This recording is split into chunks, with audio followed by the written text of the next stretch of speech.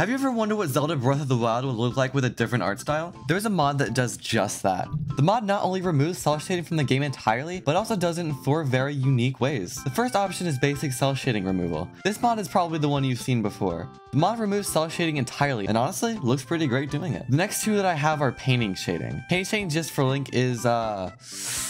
it's interesting. I don't recommend using the setting at all. It makes the game look unfinished and rough around the edges. And it doesn't get better with a third option, which is painting shading for the world and Link. It's uh, don't don't don't use this one. The last option I have is light shading. Light shading is probably the most unique out of this list. It makes Link along with the world a lot lighter, and in my opinion, looks really good. Even more so than the vanilla world, maybe. Subscribe for more Zelda content.